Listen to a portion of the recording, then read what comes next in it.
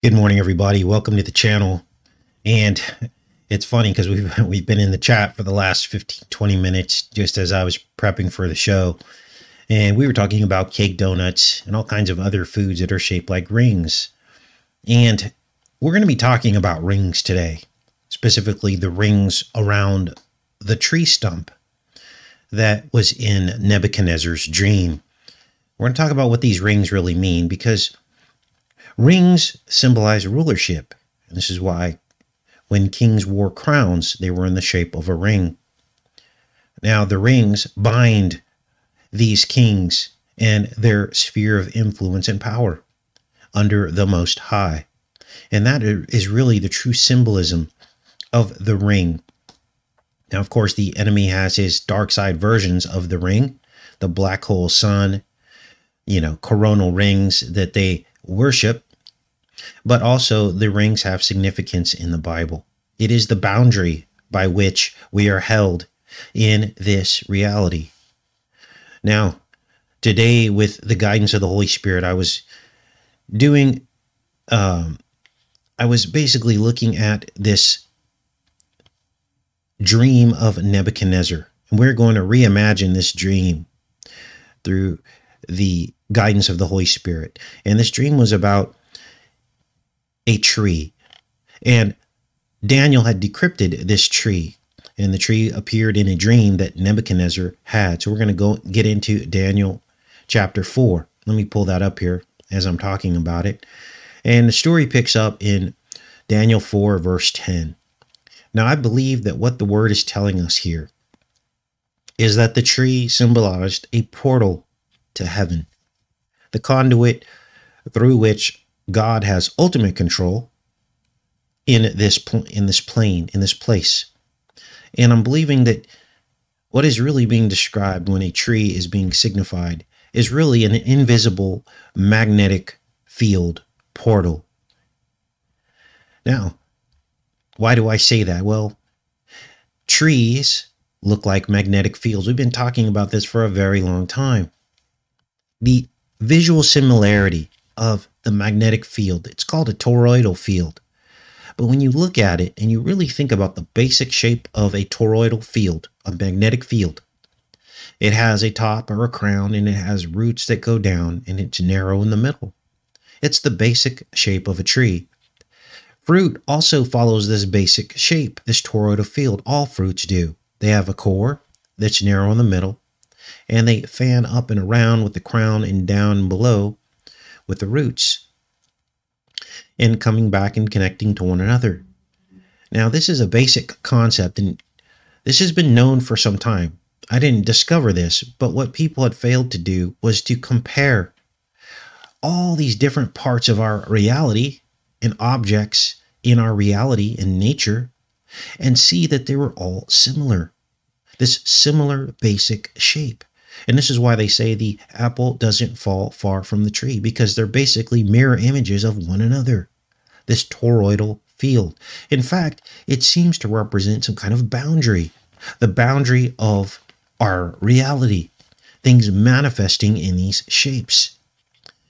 Now, I'm beginning to believe that this tree that's described in Daniel 10 is some kind of invisible magnetic tree portal.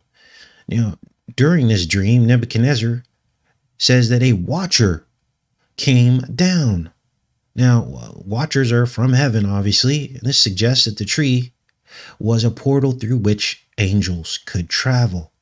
Now, there are other examples of this. Angels coming down to these high mountains. What is a high mountain? What is the basic shape of a high mountain? It is the bottom half or the bottom portion of the toroidal field shape, isn't it? It's the tree trunk.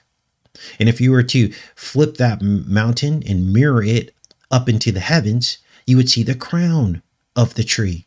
Now, this isn't rocket science. These are simple observations, just simply contemplating these basic shapes and ideas and concepts that no one's really taken the time to do before. Now, we're going to get into this passage. I've got it on the screen here. And this is the basic story in the Bible of this dream that Nebuchadnezzar had. Let's read a little bit of this. I saw in the visions of my head upon my bed, and behold, a watcher and a holy one came down from heaven. This was just after the uh, the this tree is described in verse 10. Visions of mine in my bed in my head I saw, and behold, a tree in the midst of the earth. That's the middle of the earth. Now think about this for a second, because um, a magnetic field of the earth the core of that magnetic field, the middle part of the toroid, would be in the middle of the earth, right? And so this represented the sphere of influence, the sphere of power under heaven, under God, of Nebuchadnezzar the king. He had full control of the world, sphere of power, his invisible tree, you could call it. And the Bible says here that the tree grew and was strong, and the height reached unto heaven, in the sight of therefore, or the sight thereof to the end of all of the earth. So it encompassed the entire earth. So nothing that we have said so far is contradicted by the word. Let's keep reading. The leaves were fair, and the fruit thereof much, and in it meat for all. So this fed the entire earth. The beasts of the field had shadow under it, and the fowls of the heaven dwelt in the in the boughs thereof, and all the flesh was fed of it. The entire world was under this tree, this, the influence of this tree. Now, then the watcher came down and said, Cut down the tree, cut off the branches, shake off the leaves, and scatter the fruit. Let the beasts get away from under it, and the fowls from his branches. Now, understand that great men of the Bible have been compared to trees in many other parts of the Bible. Ezekiel 31 talks about a Pharaoh who was compared to a giant tree as well. I think I have that pulled up here. And this particular Pharaoh compared to the uh, to this giant tree also had limbs that spread out across the entire world. Just like Nebuchadnezzar's tree it says here, all the birds of the air nested in its boughs, all the beasts of the field gave birth under its branches, all the great nations lived in its shade. Are you starting to figure it out now? The word is amazing. It's a living, breathing document. Also, in Isaiah 10:33, it says, "Behold, the Lord God of hosts will lop off the branches with terrifying power. The tall trees will be cut down, the lofty ones will be felled. He will clear the forest thickets with an axe, and Lebanon will fall before the mighty one." So we have precedent in the Bible of people being compared to trees. Even in the New Testament, Jesus healed a man's eyesight who was blind. And when talked to, the man said that the people appeared as trees. So, the trees seem to symbolize our spiritual or physical field of influence. It's a it's an invisible tree. And through our sphere, through our little tree, we're we're either connected with the Holy Spirit and in God's will, connected up to heaven through the core, or we're connected to the dark side below and manipulated by the devil.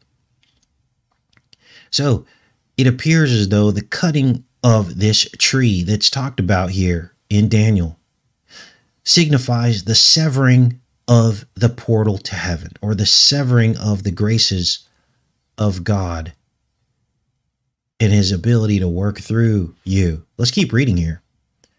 Because after the tree was cut down, it says, Nevertheless, leave the stump of his roots in the earth, even with a band of iron and brass in the tender grass of the field.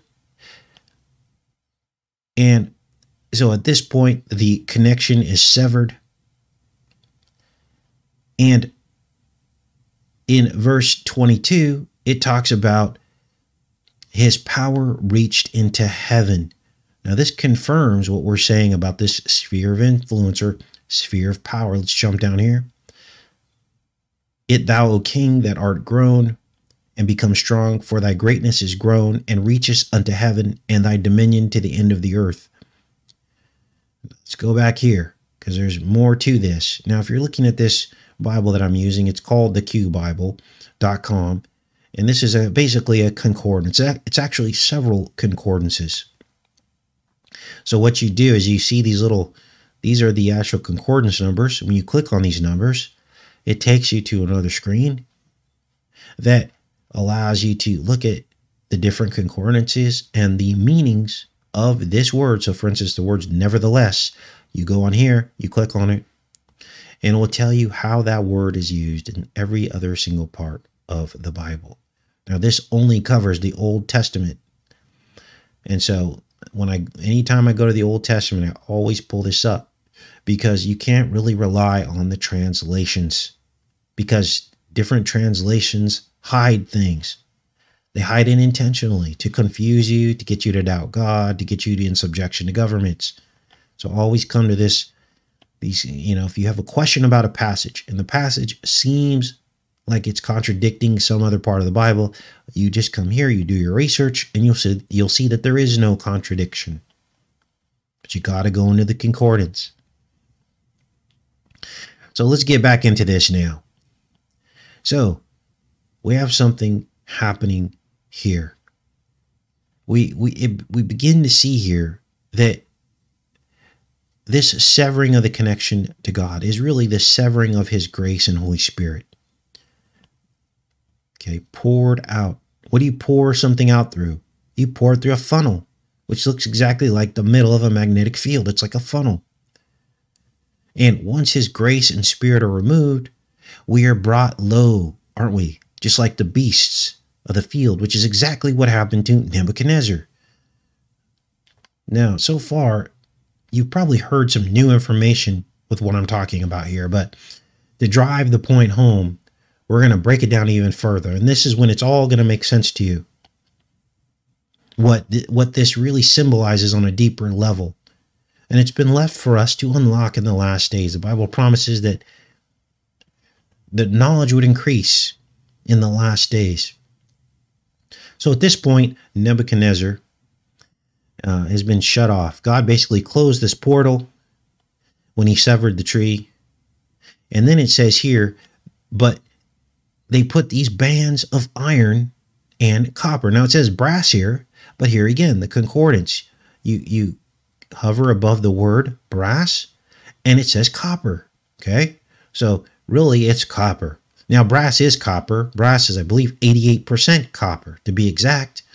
So it's mostly copper with some alloys in it for strength because copper is a very soft metal. We're going to talk about what these rings or these bands really mean because this goes very, very deep. So, before we talk about the bands or the rings that were wrapped around the stump of this tree, it says here, in the tender grass of the field, and let it be wet with the dew of heaven, and let his portion be with the beasts in the grass of the earth. So, what is this dew all about that was left on the stump and on the beasts? I'm thinking the dew is the remnant left behind of the connection that once was. It's a sort of a promise of restoration, kind of like the life giving waters that Jesus spoke about. Because ultimately, Nebuchadnezzar was given a second chance.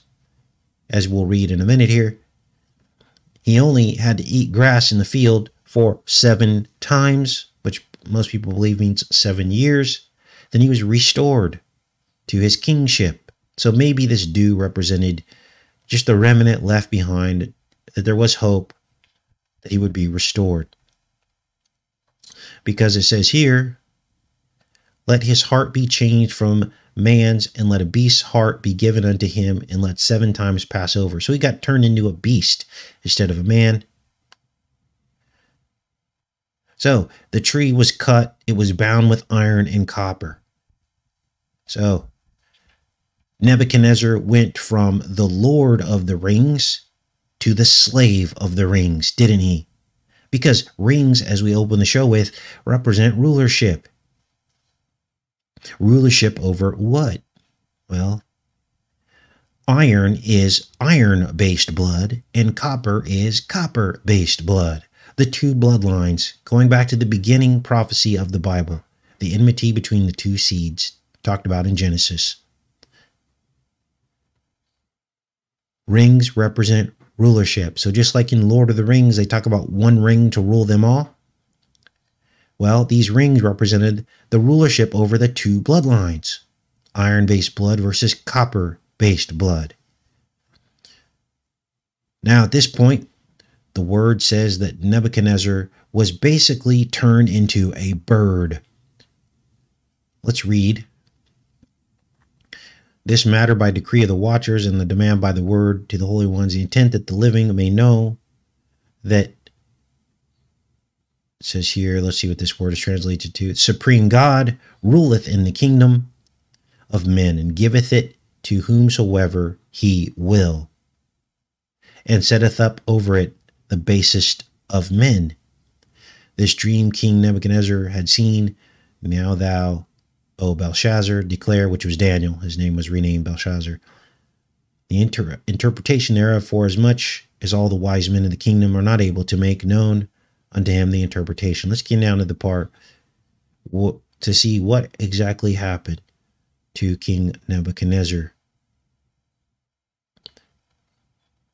So, because it repeats itself a little bit in the word here.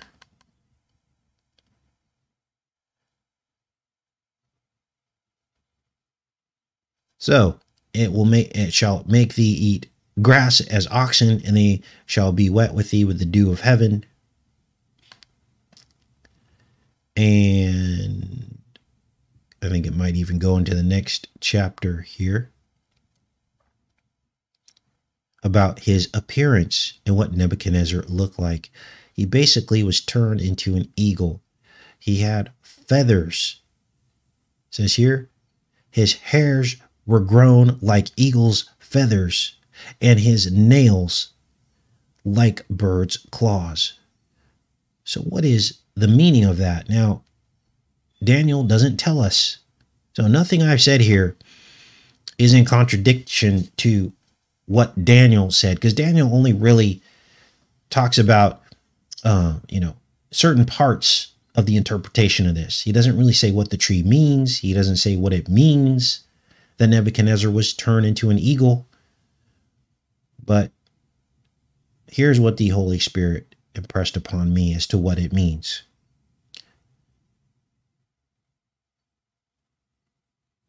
What it seems and appears to be is that Nebuchadnezzar was transformed into a lowly former inhabitant of the tree, like a bird, right? He was cast to the ground out of his nest. He was turned into a flightless eagle, complete with these eagle feathers and talons. And he was forced to eat grass instead of what a, an eagle would normally eat. So you can almost look at Nebuchadnezzar as a bird that fell from his nest. He was a fallen eagle. But then after that, after seven years or seven times, Nebuchadnezzar was restored. Just as the dream foretold, he was restored. And uh, but here's what happened. After his kingdom was restored, it didn't take long for him to get right back into his unfaithfulness. He started worshiping iron and brass gods, as well as wood and gold and silver. Now, why would he do this? Instead of realizing that the Most High was the one who made the gold and silver and the wood and the copper, Nebuchadnezzar once again started worshiping them instead of him. Now, here's where we get into the nested reality. Because birds live in nests, don't they? That's your first clue. And everything in our reality are things within things. So think about this for a second. The very basic representation. Now, this is going to blow your mind. because now you're when I explain this to you, you're going to see how it even fits into this prophecy of Nebuchadnezzar. The most basic interpretation, the first fruits in our reality are babies in the womb and fruit in the trees, right? And both follow the same basic shape. A child in the womb has an umbilical cord. That is the narrow gate.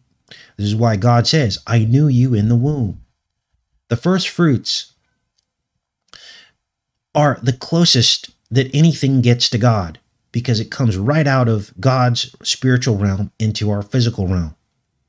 And this is why you see children saying certain things that just are amazing out of the mouth of babes because they were the last thing that they saw was knowing God in the womb. Now they have forgotten, but this is what we see. And this is why these first fruits are so important to God. Even in the Old Testament, God had the first fruits. He was given the first fruits as the perfect form of worship to Him in atonement for our sins. Now think about this for a second. So you have a fruit, you have an apple, which is the first fruit from the tree. And then your little apple or your little person grows up and has their own tree, invisible magnetic field, their sphere of influence. Is it good? Is their fruit good? Or is it bad? What kind what are the things that they're doing in this life? Are they sinning? And is their fruit dark and rotten?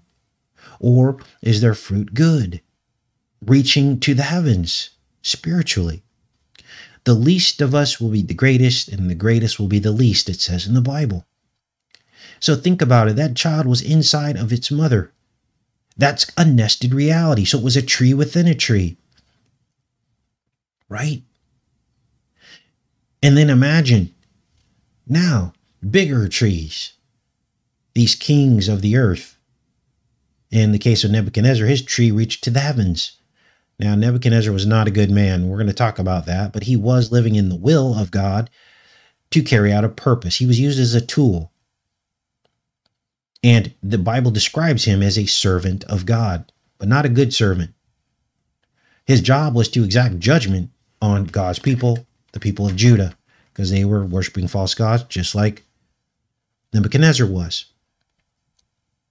Now, let's go back to the actual fruit that falls from trees. That fruit, what does it do? It creates more trees, more magnetic field shapes through its seed.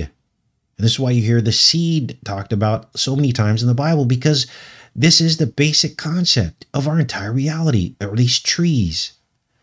Everything and all the words and verbiage describing all these spiritual things that happen in the Bible all center around trees. Water, the Holy Spirit, uh, the, the living waters, the wells, all of this stuff goes back to this basic concept of a tree. And this is why the trees of the garden was the beginnings of our reality.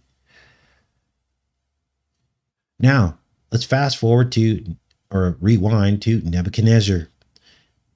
And he was his tree was rotten. His fruit was rotten because of his pride. And God brought him down low and instead of recognizing the big tree, the tree from the forest, he went right back to worshiping the things that were created by God instead of worshiping the Most High himself. In other words, Nebuchadnezzar was stuck in a nest and he couldn't look to the outer layers of the nest and understand the full and true meaning of his mistake. He went right back to worshiping the false gods of iron brass, copper, wood, gold, and silver. Now, hopefully, this is all starting to make sense to you because we just went from the physical to the spiritual in that discussion. Now, how did God use Nebuchadnezzar? Well, Nebuchadnezzar destroyed the kingdom of Judah. Here's the story here in Wikipedia. Let's go back up to the top. Here's the story of Nebuchadnezzar. Now, Nebuchadnezzar was the second but it's the same one. And God used him to destroy Jerusalem, which led to the Babylonian captivity as the city's population and the people from the surrounding lands were deported to Babylonia. So this was the Babylonian exile that Jesus spoke about in the New Testament when he was recounting his ancestry, when he was talking about the 14, 14, and 14 generations. Remember, he said there were 14 generations from Abraham to David, uh, 14 generations from David to the exile in Babylon, and 14 generations from the exile in Babylon to the birth of Jesus.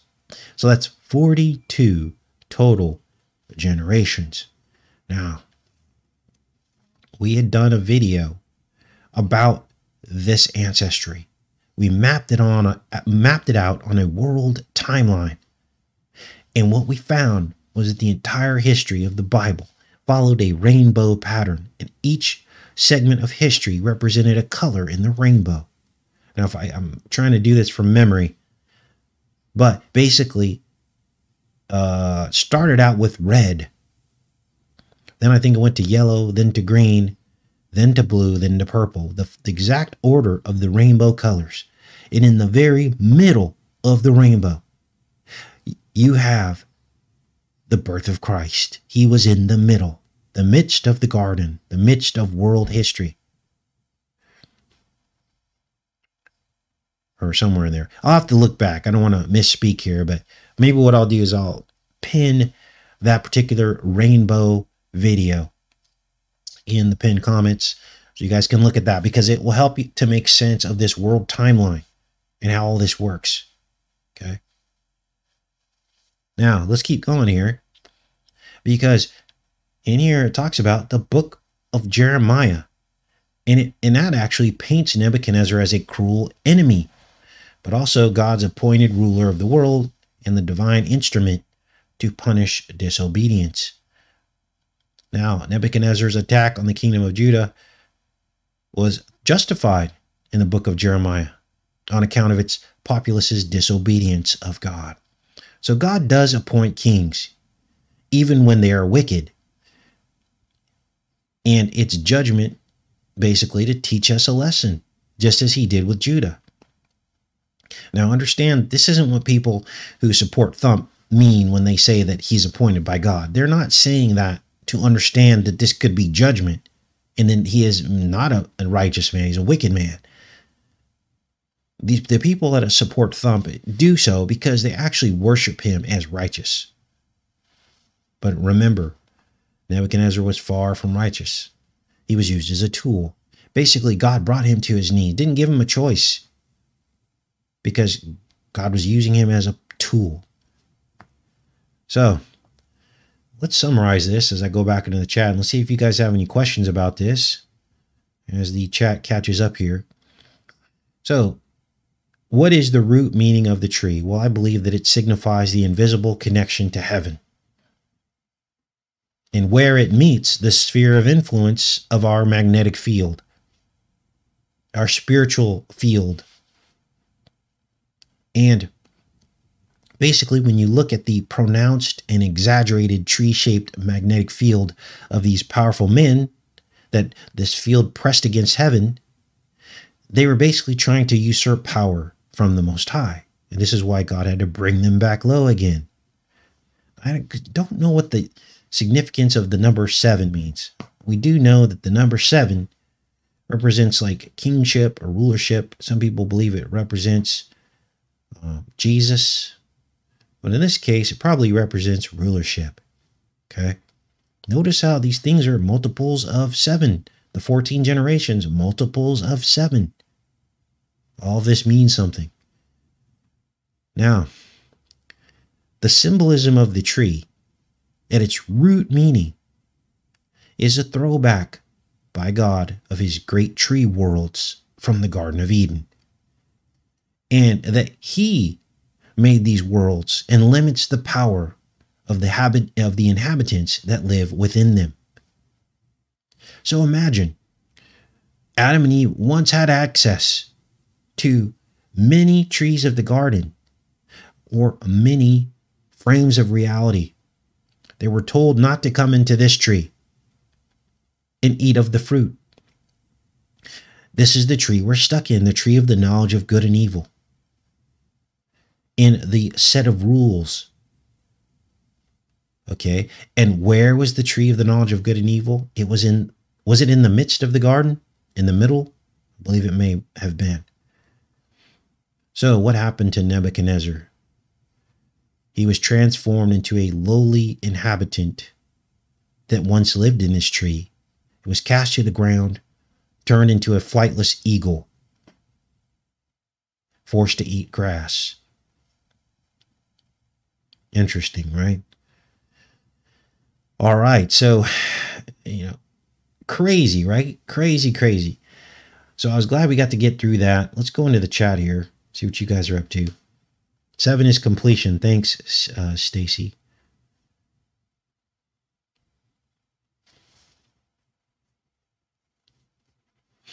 William just made it. Glad you could join us, William. Heard the dogwood tree was cursed because Yeshua was hung on a dogwood.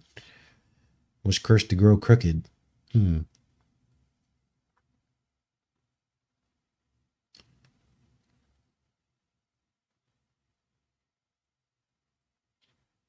Okay.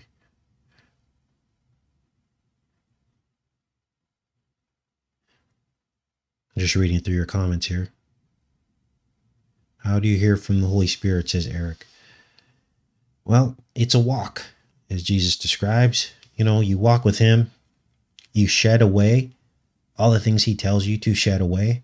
You know, I used to put a very high importance on, you know, my status in life. I didn't think I did back then, but I did, you know, and a lot of it was pressure from the outside. You know, the world tells you that to be a man, you have to make a lot of money and, you know, have children and just try to keep stepping up in the world.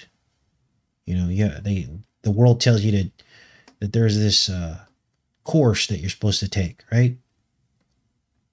And in that course, that's the worldly course. And when you go on that course, it almost severs your connection to God. Now, God's still there. He's still trying to work in your life to bring you back to Him, but it's very hard for Him to do when we're on the devil's course. So, you know, I looked at my life back then in the late 90s and 2000s when I was raising my children and married. I looked at my life then as successful. You know, I worked in the pharmaceutical industry, which all my friends envied the job that I had because I, you know, I only worked probably 20 hours a week. I had a company car, full benefits, and I was making six figures. And my former wife was uh, able to stay home. Now we were on a budget, but you know, we owned a home in California, owned two homes in California. So we were doing really well. And but then I began to see that no matter how well you did, the people around you started expecting you to do even more. The, the race never ends. And at any given point, the devil could sweep, swipe in and take it all away. So, through the course of some heartache and pain, God basically made me low, just like he did Nebuchadnezzar. He pulled it all out from under me.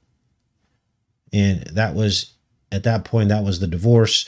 And you know, I pretty much lost uh, custody of my children because that's what they do in California. They give the mother 80% and the, and the father 20. You're, you become an uh, every other weekend dad, which is devastating to a father who was involved in their children's lives, you know, up to that point. So I lost it all. I lost the reason why I felt like I was doing what I was trying to do to be successful. And I had no purpose. That's when God had me. He knew I had one choice. I didn't want to live at that point because I figured, what's this all for? I just go to work, I give away 70% of my income to the ex wife. I have no money to even entertain my own children when they come with me every other weekend. And we just rebuilt from the bottom up. Went on bike rides and played tennis, did a lot of that watched a few videos, but it's nothing the same as the family life that you have. Now, I wasn't an angel during my marriage. And I, you know, I can sit here and blame the other person and say it's all their fault, but I made mistakes too because I was figuring it out. I was going on a, a path. So, at the end of the day, uh, I had to start over. I had to figure out what this life meant. And I was asking a lot of really tough questions. I was deep in prayer, asking God, why does this happen? Why is the world so unfair? How does a judge tell me I can only see my children 20% of the time when I was the whole reason why they were safe? Their mother was able to stay home with them, they were nurtured. I didn't understand, and I was very angry for many, many years because of that. Why do they get to take away 80, 70% of my income and I can't even pay my bills? I didn't understand. But God wanted me to know that you have to walk away, be willing to walk away from it all to do His will. Now, His will in my life has become this YouTube channel. And you notice we have not faltered in the past 10 years. And you see how the devil has tried to minimize that impact with the very, very slow growth of this channel. Everybody knows it, right? 10 years we've been on YouTube uploading these kinds of videos pretty much every single day. You see other channels growing leaps and bounds. That was God continuing to humble me. Okay? Because maybe I'd be a different person if I was one of those 500,000 subscriber YouTube channels, right? God's still working with me. And this is how he works. He brings you low. He says, Okay, are you willing to get up every day and serve me, even though I'm suppressing your channel and I've got you pretty much at the bottom of your peers? And yes, he did. And he knows. And so every day I wake up, I'm serving him. Now, there are people, some people don't understand this walk, you know? They don't understand what's going on here. But trust me, God has had me at the edge and in full faith, complete faith in his will in my life because nothing is for sure. Okay. Nothing is for sure, but he keeps me in this space because he knows this is how I operate the best and how I serve him the best. He can't give me too many blessings. He gives me a lot of blessings, but he can't give me too many blessings. So, because he wants to make sure that I stay humble, right? Now, the biggest lesson in humility that I think I've experienced was this walk here on YouTube. Being at the edge of having channels deleted at the bottom of the group, watching all my peers thrive, and me being here with not as much influence as them, with very, very important information that should be getting out to the world, right? So, a lesson in humility. And that should be a lesson to all of us. Okay what's at the heart of why you do what you do? Is it for yourself or is it to serve the Most High? And every day I get to wake up and see the blessings of all of you coming here and seeing how everybody is blessed to be here and inspired. Anytime I'm feeling down, I just go into the comments section. I see all the support and love. I see all the discussions that you guys talk about and all the encouragement that you give to each other. And I can only imagine that that pleases God. So, to answer your question, how do you receive the Holy Spirit? You do what Jesus said, you lay it all down. I walked away from a six figure career and I walked away from um, basically, how do I put this? I had to accept that I didn't have my children the way I wanted to. I had to walk away from that and I had to go on God's walk. I had to go on God's walk. I had to let go of the anger of being broke for basically 10 years while you know, I made sure that they grew up and got their child support and everything. Well, you know, the government doesn't give you an option, but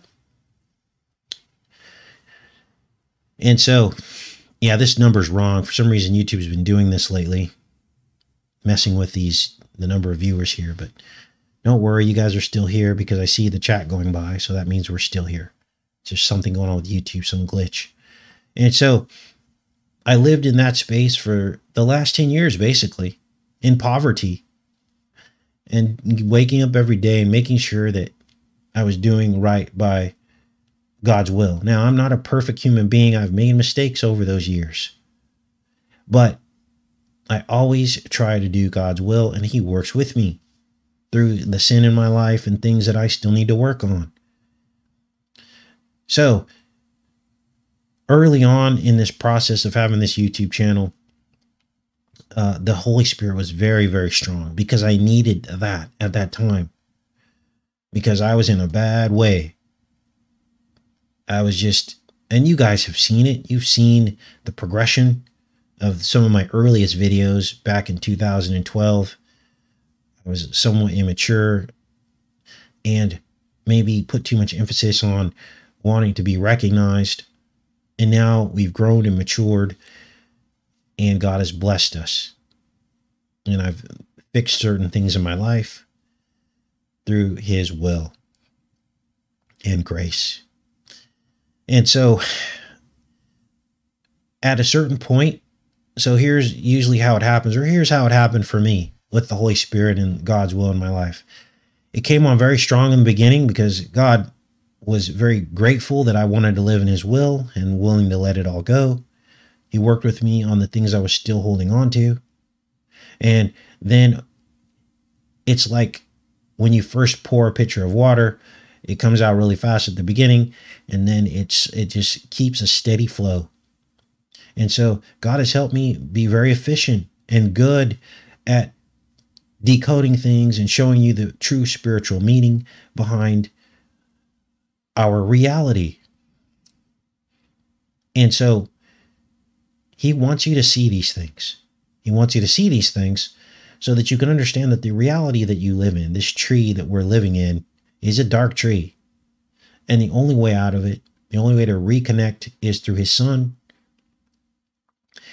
that will bring us back to him now, if you have doubts about the one and only true God and his son, think about what we just talked about today this magnetic tree.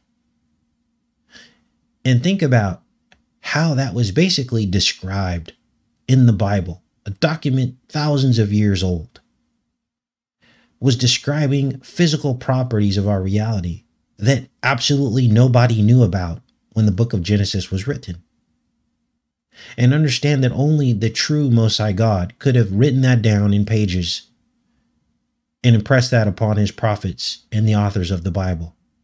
And to him goes all the glory because he's the only one that could have known those physical properties. Now, people want to argue and say, oh, you know, the Egyptians knew so much. The Egyptians are copycats. They're copycats. And this is why science wants to say and archaeologists want to say that the Egyptians predated everything. They don't have any proof of it. You can't, you know, carbon date rocks, but yet they try to get the, the Egyptians to predate everything. Earliest civilization, right? One of the earlier civilizations. They do, the devil does that on purpose to try to discredit the Bible and the wonders of the Bible. The wonders of the Bible being some of these descriptions in the Word, hidden until our day. These scientific and physical descriptions of things that were not known or not supposed to be known back then. Our physical magnetic field, our tree shape. So, very interesting.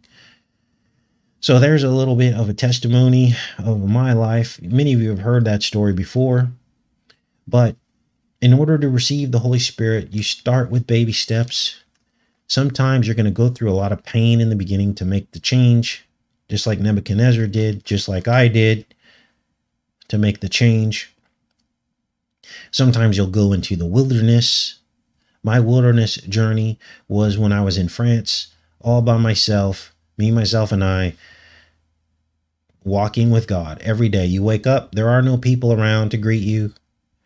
You wake up, you're by yourself, and it's you and God. A lot of talking going on with you and God.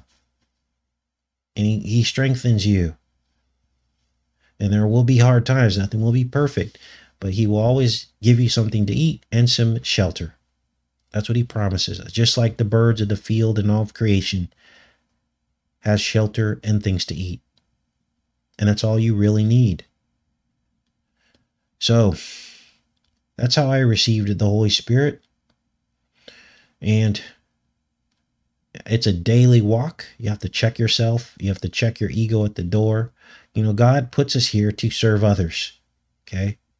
And sometimes it feels like, you know, maybe you feel like sometimes you want to be served, but that's not the good that's not the way to go.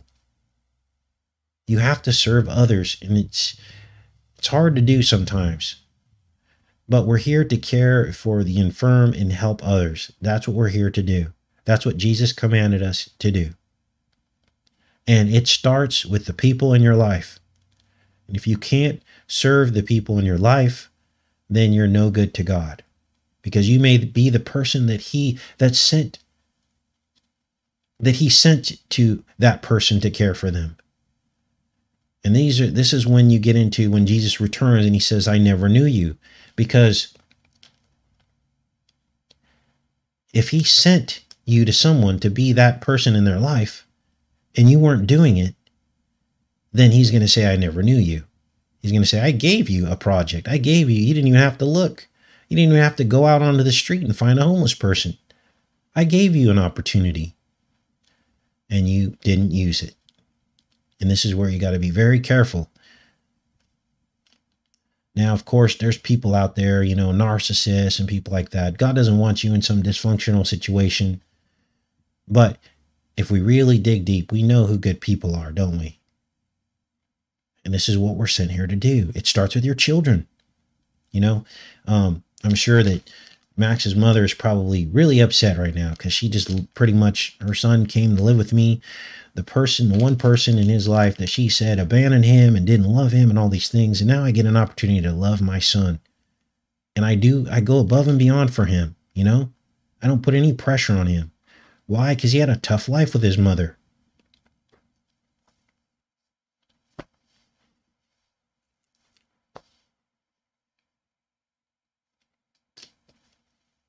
Sorry.